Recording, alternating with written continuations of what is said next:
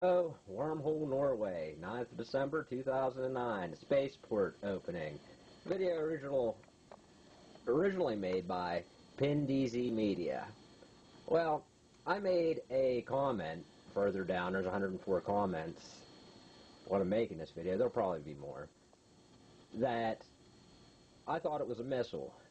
Missile spins in a circle, then explodes, exhaust is spiral, visual explosion, is darkness that encompasses spiral.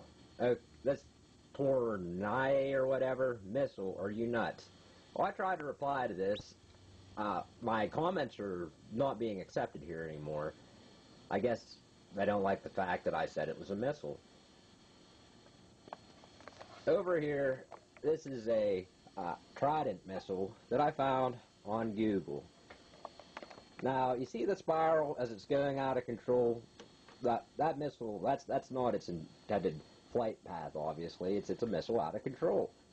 But you have the spiral, and the missile ends up in the center. What you're seeing on his video is the same thing set against a dark background, night. You got the spiral effect, which is this. And then in the center, what they believe is a Stargate opening, the darkness that encompasses this is actually this missile right here at the end of its life exploding. There's plenty of real conspiracies out there. 9-11, Climate Gate, collapsing economy cover-up. Why distract yourself with something like this? Another missile from earlier in the decade that had a mishap at night. Now